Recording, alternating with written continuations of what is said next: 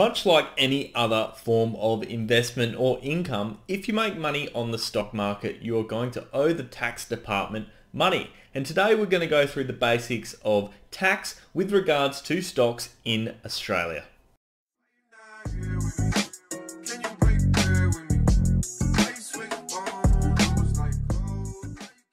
How's it going guys? Ryan here and welcome back to another investing video and today we're talking about the topic of tax and the different types of tax that apply to the stocks and the stock market in general when you're investing or trading in Australia. But before we get into that guys, please remember to give this video a thumbs up. It helps me out so much with the YouTube algorithm and subscribe for more investing, stock market and wealth management content. We talk about all that cool stuff and more including the news of what's going on in the world at the moment as well as some investment tips that you may find useful. So without further ado guys, let's get straight into today's video. So the first thing we need to understand is what actually is a stock because that by definition will allow us to understand what type of tax is applied to stocks. So if we're talking about a stock, it is a portion of a company that you own. You literally own a share of a company. As a result, it is classed as an asset. And the type of tax that applies to this type of thing is called CGT, also known as capital gains tax. When we talk about CGT, there are two key elements that you need to take into consideration. The first of which is capital gains and the second of which is capital losses. So a capital gain is effectively where you purchase an asset, so let's say you purchase a stock and then you sell it for a greater value than what you bought it for. That difference or your profit is what a capital gain is. Now, capital losses are the polar opposite. So if you purchased a stock and you sold it for a lower value than what you originally purchased for, that is considered a loss or a capital loss. And effectively, that means you don't owe tax on that portion, obviously. Now, the interesting thing when it comes to capital gains and capital losses is they offset themselves. So for instance, if you made $50,000 profit on a stock by buying and selling it, that means you would technically owe $50,000 taxable to the tax department. If you had made a loss of $50,000, that means you can offset that profit you've made with the loss and you don't owe any tax at all because technically you've not made a profit. Whereas in the first scenario, you owed tax on $50,000 as opposed to the second scenario where you made a loss, you've offset that profit completely that you made because you've actually not made any money in that financial year. And the beautiful thing about capital losses is you don't need to apply them to your current taxation year. So let's say if you finished a year of stock market trading or investing and you ended up with a capital loss at the end of it, that means you can keep carrying over that capital loss year on year until you make profits that exceed that value.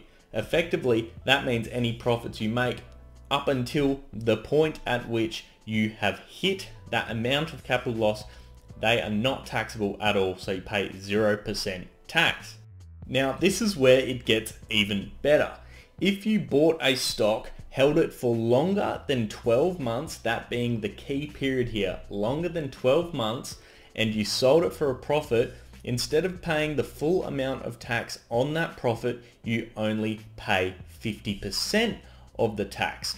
This is known as the CGT discount method and is one of the best ways as an individual that you can save money on tax. So for instance, if you're about to sell a stock and you've held it for 11 months, but you don't envisage the price is going to drop significantly and it's going to hover around the same price, or maybe it could potentially go up in value, make sure you wait that additional month or however many days it is because you'll pay 50% less tax than you would if you sold it at that very moment. So the CGT discount method is something that I would highly recommend that you keep in the back of your mind when you are looking to sell shares.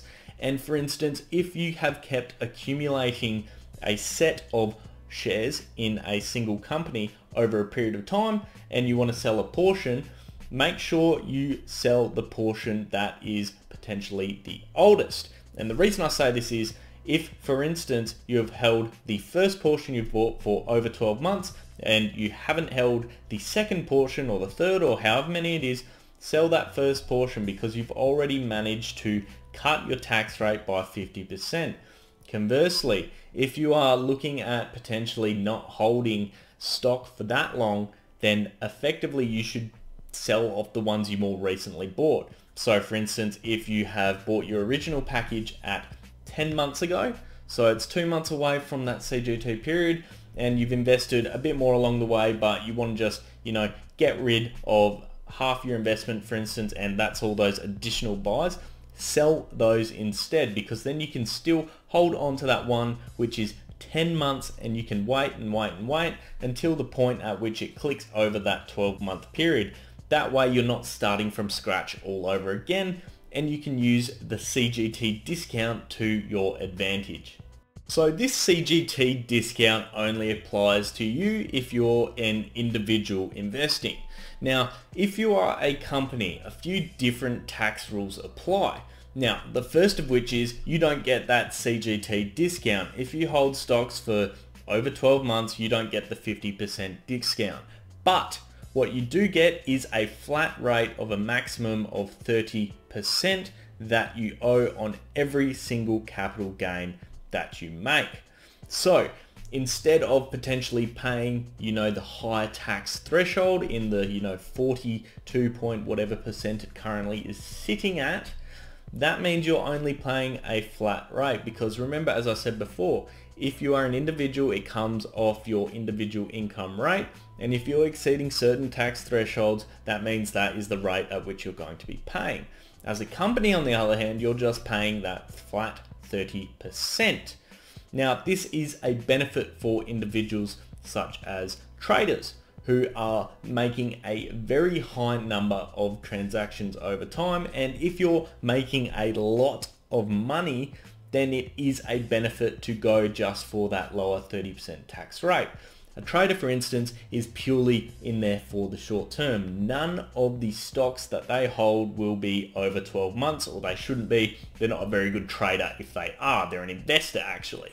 Whereas if you are a long-term investor, it's most likely more beneficial for you to uh, invest as an individual so that effectively you are able to claim that 50% reduction or the CGT discount as they call it.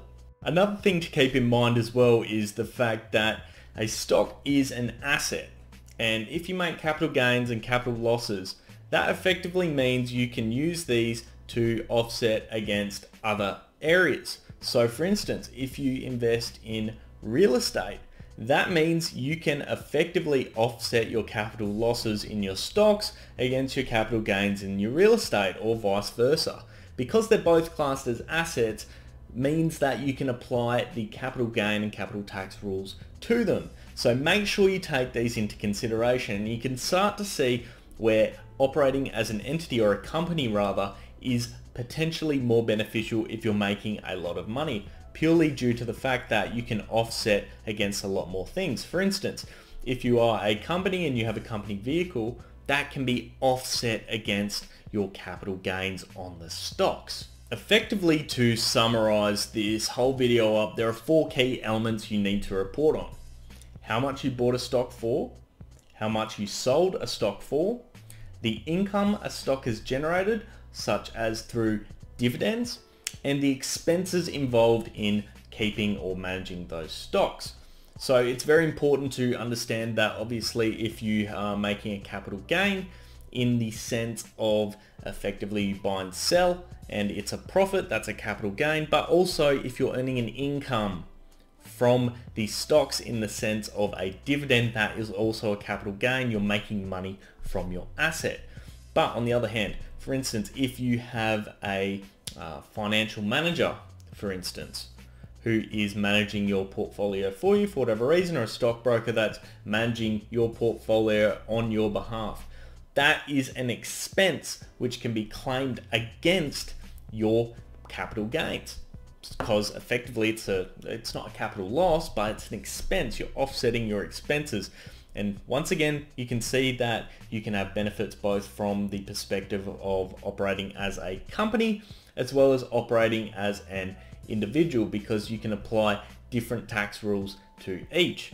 So for instance, if you bought a new computer, for instance, as a company that is specifically dedicated to stock market trading or investing, you can claim that as a tax write-off. As an individual, if you subscribed, for instance, to a monthly newsletter that is related to stocks and it's all to do with stock research and stock management and all that sort of stuff, that may be a potential tax write-off that you can claim there as well. So you need to look into these things. The more you earn, the more you learn. That is effectively the synopsis of this. And the key aim here is to legitimately reduce the amount of tax that you owe the tax department. That is obviously what everyone wants to do. But one thing I do always say is tax problems are good problems to have. If you have a large tax problem, that means you've probably made a large amount of money. And that is a very, very good problem to have. So guys, that wraps up today's video. I hope you did enjoy it. And if you did, please remember to like this video. It helps me out so much. And subscribe for more content like this. I'd love to know your thoughts on today's video as well down in the comments section below. And with that guys, I hope you have an awesome day. I'll see you next time. Cheers. Yeah.